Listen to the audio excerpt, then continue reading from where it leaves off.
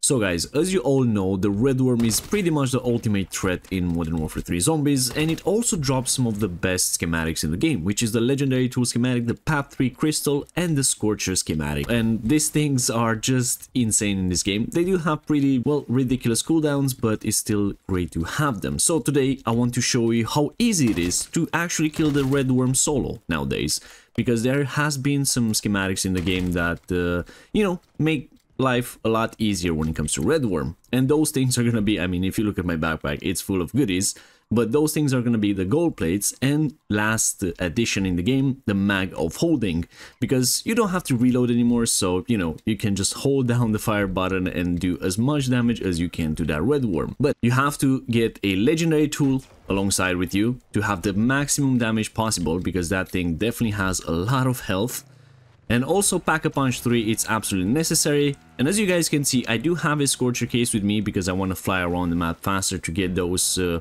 USB sticks. And lastly, go with a decoy. The decoys are going to be extremely useful in there because, you know, you can just throw them away and replenish them with the ammo caches. And, you know, they can keep the, the zombies away for a few seconds, enough for you to do some damage and run away or just kill them. The weapon of choice for me, is going to be the BAS-B today because with mags of holding this thing, well, I don't have to reload, so I can just sustain fire, and it actually does some pretty great damage, and I do have the flamethrower on it, because there's gonna be some mimics, some manglers, I definitely have to use that as well. Anyways, I'm gonna go grab the USB sticks, I usually go to this spot right here, in the Orlov military base. Up there there's gonna be like a room with some photos on the wall and they show you the actual locations of the USBs so I'm gonna do that and uh, yeah, I guess I will see you guys at the Worm boss fight. Definitely don't forget to get all your perks and max out your ammo to Pack-a-Punch 3. And without any further ado, let's get this. Alright, so we made it to the place where we have to fight the Red Worm. And in order to find out that location, uh, I'm gonna explain to you just one second. Let me put on the, the refractors. And after you put those things in, you have to wait I think for like a minute and a half, something like that, until the, the red worm comes out. You do have to be careful because there's gonna be some zombies spawning out of the ground. They're actually not that tough, even though it's uh, in the storm. But yeah, to find out the actual location of the boss fight, you have to look where the zone is. So that is the center of the zone. And somewhere around it, there's gonna be like two ammo caches next to each other. How you can see on the map right here. There's only a few locations where this uh, red worm can spawn. And that could be up here, right here in the farms or the stadium in the big town. So four locations where, this, uh, where the red worm can spawn and you just have to look for the two ammo caches that are going to be next to each other. Alright, the red worm should come out right about now. All the zombies are going to go in the middle. He's going to kill all of them, which, you know, actually helps me out a bit. And one tip that I forgot to tell you is that you have to take a big gas mask and never, never forget to refill it. And there is the big guy. There is the big dude. Always be careful to the orbs that he shoots. They can be pretty annoying. Be stuck in there. This is why I why I took the flamethrower because these mimics can be pretty darn annoying. So the flamethrower is just gonna make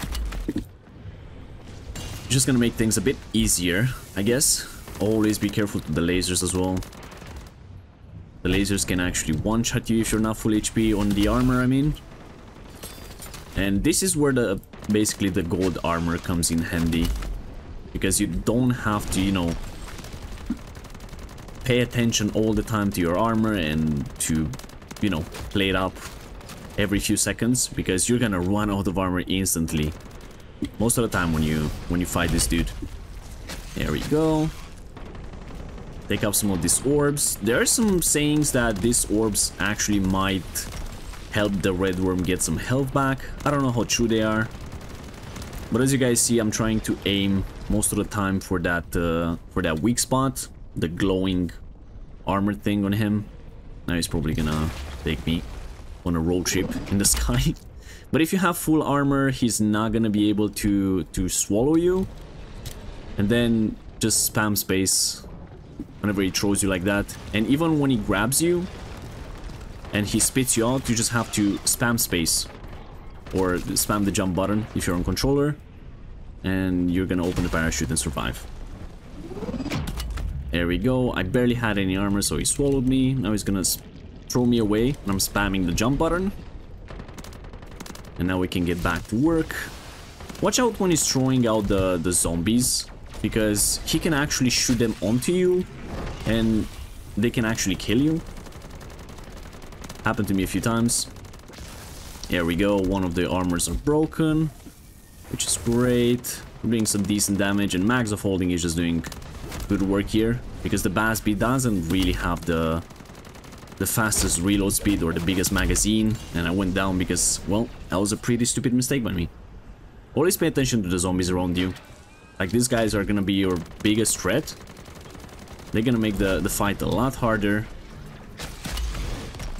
Alright, I'm gonna go refill gas mask before I do anything else. I'm gonna throw a decoy there. Should have been in the back. I usually like to take around 3 self revives with me. You can do this without going down at all, but, you know. Better have some extra equipment with you, just in case. You never know when you go down or you get hit by something you're not paying attention to or something like that, so... Let me try to kill some of this. Also, I do have the flamethrower, and I've been getting a lot of questions about whether it hits the, the red worm or not, and all I can say is that it does very minimal damage. So don't rely on the flamethrower to take out the red worm super fast, because it's not gonna do it. Trying to take out some of these zombies right now, just to get rid of some of the, the stuff around. I think there was a nuke down there, but couldn't really get it. We got 6 minutes 45 on the clock. I think we, we have enough time to take him out. I'm definitely gonna take this though. Ah, it's very good.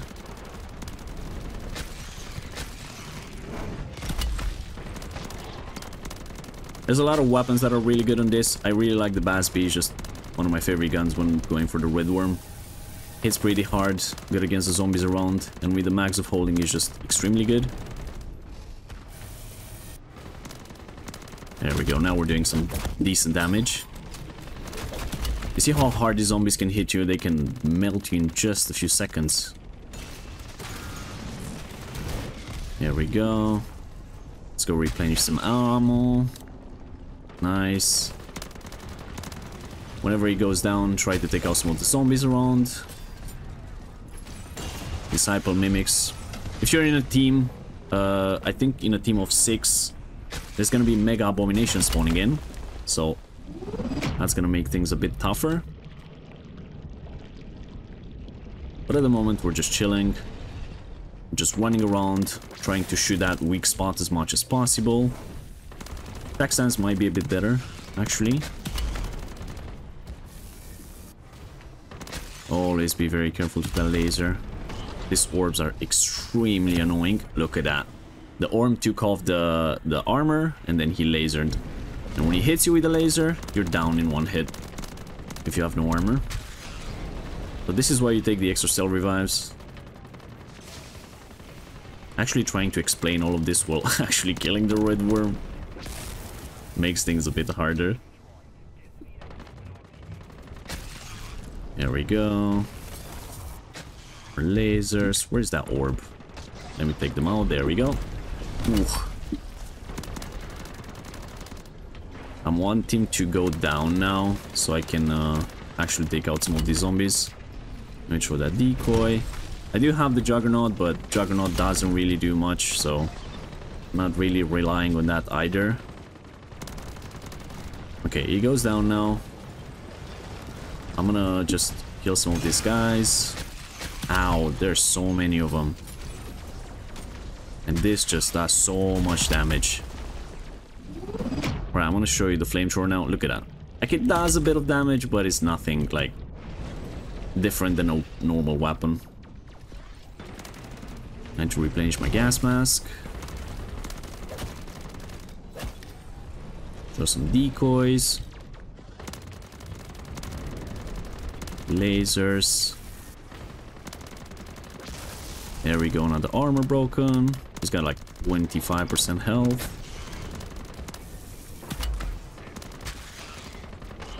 I like to slide whenever he does that attack, so...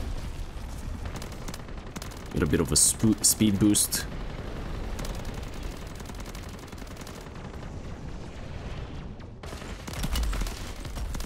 I hate when he does that attack. It's just so powerful. Shoot down the orbs. There he goes underground. Gonna take out the Mangler.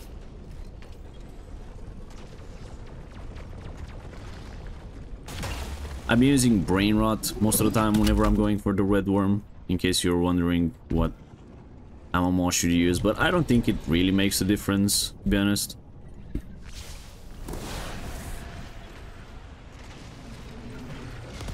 There we go. Alright, 2 minutes and 50 seconds. Got the orbs down. I want to hit those critical spots, so I'm turning around.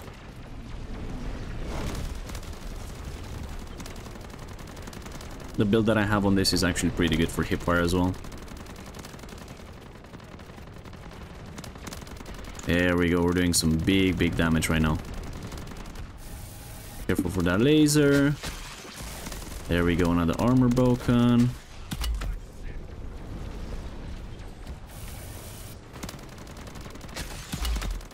Is almost close to death. He literally just has a sliver of health. No,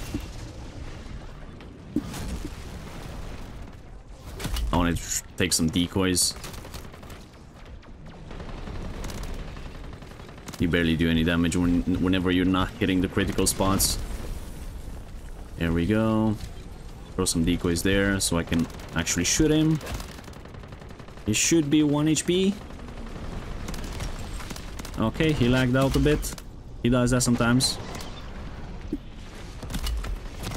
Oh, okay. That happened.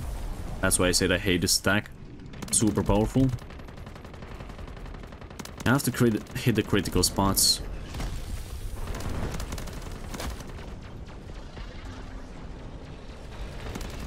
And he should be dead in just a second. There it is. It's all about hitting those critical spots, so you have to go in like a circle motion thing. And you're gonna get him without any issues. And after you kill him, well, everything is gonna die around, so don't worry about the zombies anymore. And when it comes to rewards, well, you get pretty much useless stuff, like this sometimes. You can get wonder weapon cases, or some better crystals or tools, but most of the time you're gonna get, like, nothing great. And there you have it, Legendary Aether Tool plans, I'm not gonna take because I already have it. And there's gonna open a portal right here to get out actually died three times. That's actually quite a bit. Anyways, that's uh, the way you take out the red worm. If you guys enjoyed this and found this useful, make sure you smash the like button, subscribe for more. And look at how my containment level just resetted itself, because why not? Anyways, thank you guys, and I'll catch you in the next one. Bye-bye.